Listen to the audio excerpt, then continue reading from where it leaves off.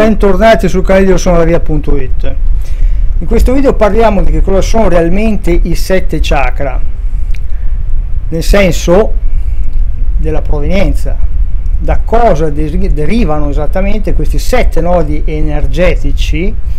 che contraddistinguono e eh, scandiscono le fasi della risalita dell'essere umano verso lo spirito anche il buddismo chiama questi sette chakra i sette demoni, secondo lo gnosticismo, e questa è la realtà,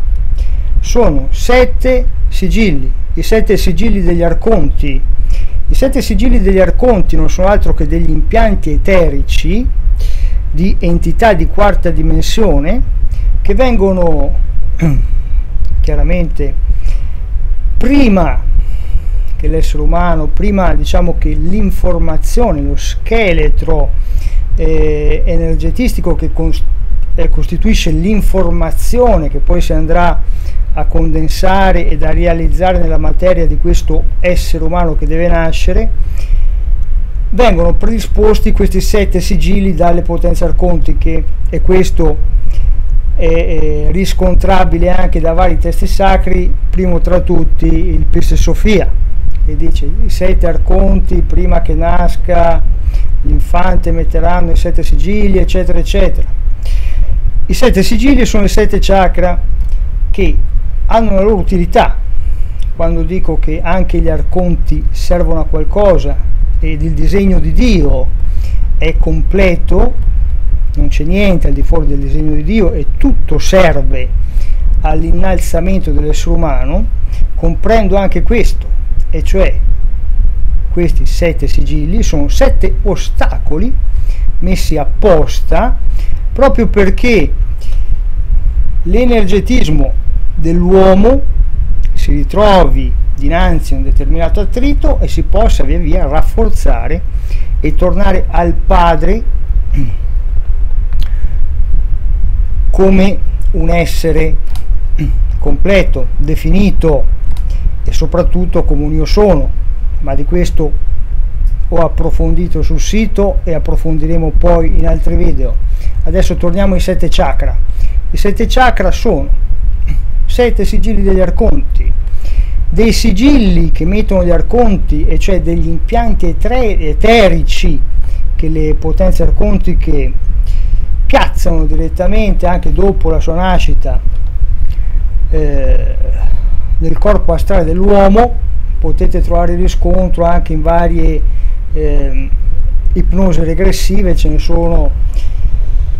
a centinaia se non a migliaia su internet dove si evince che le potenze arcontiche, e cioè i cosiddetti alieni, si divertono a mettere impianti eterici sul corpo astrale delle, delle persone. Ciò significa che questa che questo tra virgolette vizio di mettere impianti eterici non è che si conclude dopo i sette sigilli, ma quelli più importanti,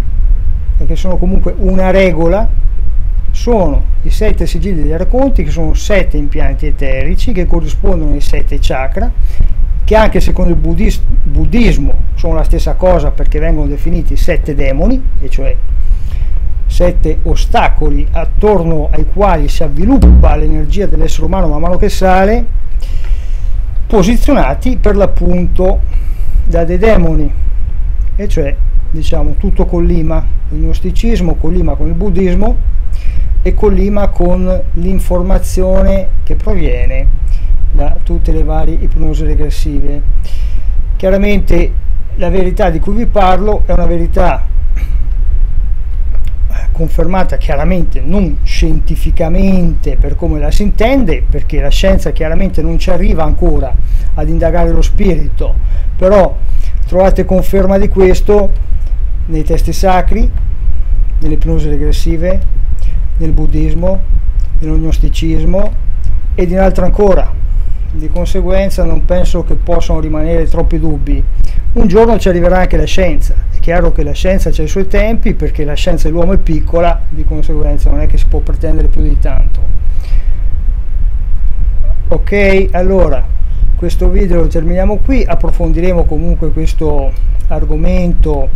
in altri video soprattutto in altri articoli che troverete su io sono la via.it mi raccomando sempre di visitare anche il mio sito. E digitate io sono la via.it e venitemi a trovare lì. Chiaramente mettete anche se volete